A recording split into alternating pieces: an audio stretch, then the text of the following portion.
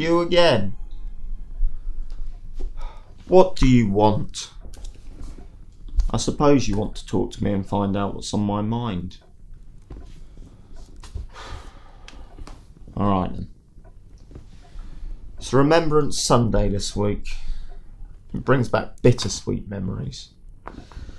With all the pomp and the circumstance of the day, standing there with your shiny medals, people saying how proud they are of you as they shake your hand, all the time wishing they were back home with their feet up, watching the telly and nursing a brew.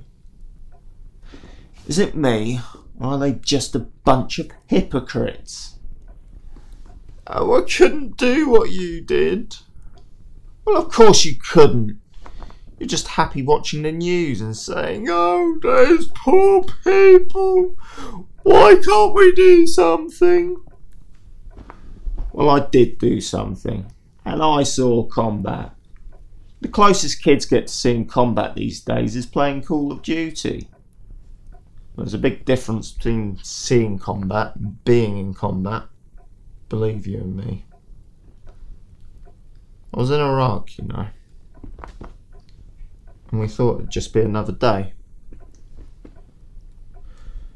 We were sent out to do a hearts and minds mission. You know, went over the natives. But between villages when we drove over an IED. It's a homemade bomb if you didn't know. We were in a vectored armour vehicle. And they're meant to be IED proof. Yeah, right. The first thing we knew is that the floor disappeared. And the vehicle turned into a bloody aeroplane. And if that wasn't bad enough, as we tried to get out, the bastards started shooting at us, aiming at the injured as we tried to pull them clear. We shot back, of course, and we called in an airstrike. That stopped them. When support finally arrived, I was trying to hold my best friend's guts and his wife had just had a baby. And all he kept saying was, I'll never see my daughter. I'll never see my daughter.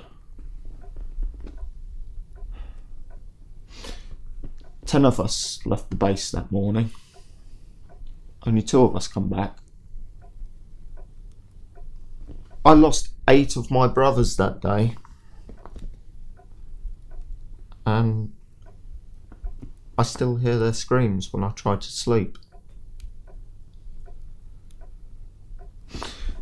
You know, I'm glad that we remember those who have served and lost. These people are heroes. They sacrificed their lives for Queen and country. It's the least that we can do to show our respect. I make sure that I observe the two minutes of silence, no matter where I am. Last year I was in the middle of a shop Many people joined in the two minutes of silence, and we all stood what we all stood there silent.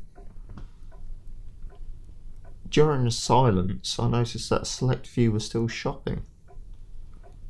How bloody disrespectful is that?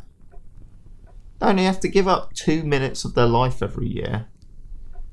Is it really too much to ask for? It's disrespectful to say the least. These people gave their lives for this country. And in return, we only have to give them two minutes of our time to remember them. Is that too much to ask for?